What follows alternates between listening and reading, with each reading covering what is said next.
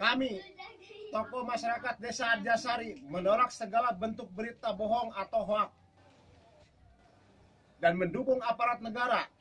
mengusut dan menindak pembuat dan penyebar berita hoak, bohong atau hoak serta siap mensukseskan pileg dan pilpres 2019 yang aman, damai, dan sejuk.